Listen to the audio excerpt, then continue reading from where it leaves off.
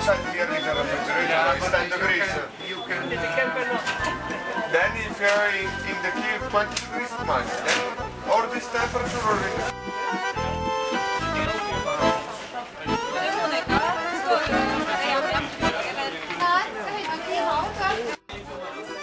Like that. It. Is that okay? That's, that is 100 pounds altogether.